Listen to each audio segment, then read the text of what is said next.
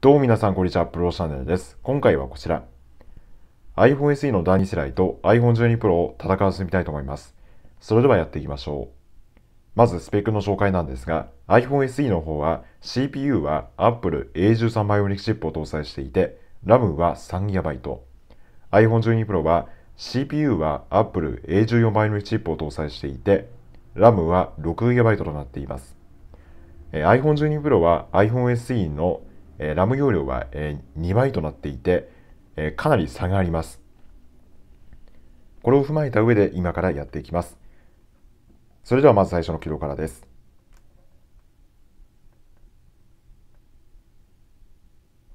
はい、起動しました。で、iOS の方なんですが、iPhone SE が現在 iOS16.0 のベータ2が入っていて、iPhone 12 Pro は iOS15.5 が入っています。はい、iPhone 12 Pro の方が早かったですね。それではロックを解除していきたいと思います。はい。起動しましたね。それでは、まずメール。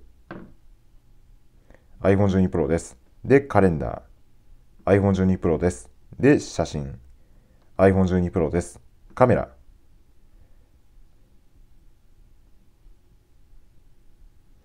このモードが切り替わるのは iPhone SE の方が早いです。で、天気。iPhone 12 Pro ですね。で、時計。えー、iPhone 12 Pro ですね。で、ホーム。iPhone 12 Pro です。メモ。えー、iPhone 12 Pro でしょうか。で、株価。iPhone 12 Pro です。リマインダー。iPhone 12 Pro です。TV。えー、iPhone 12 Pro です。で、App Store。iPhone 12 Pro ですね。で、Music。iPhone 12 Pro です。で、iTunes Store。iPhone 12 Pro です。で、Book。iPhone 12 Pro ですね。結構早いですね。個人的にではあるんですが。次にヘルスケア。えー、iPhone 12 Pro です。ちょっと、えー、違う画面が出ましたけれども。で、ウォレット。iPhone12 Pro ですね。で、設定。これも iPhone12 Pro でしたかね。で、一般ソフトウェアアップデート。こんな感じですね。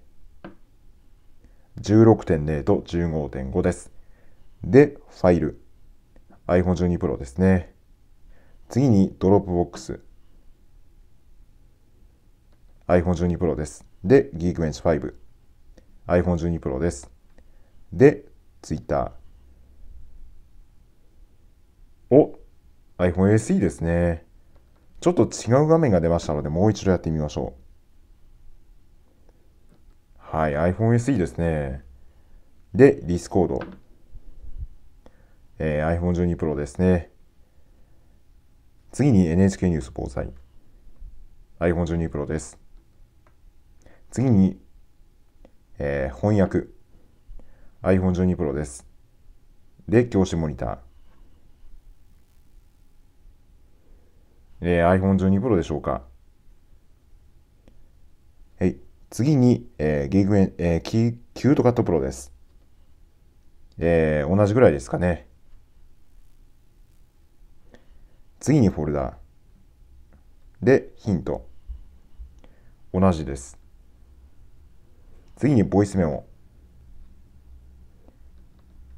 もう一度やってみましょう。えー、同じぐらいですかね。こんな感じでした。はい。で、YouTube。これは iPhone 12 Pro の方が早いです。で、Safari。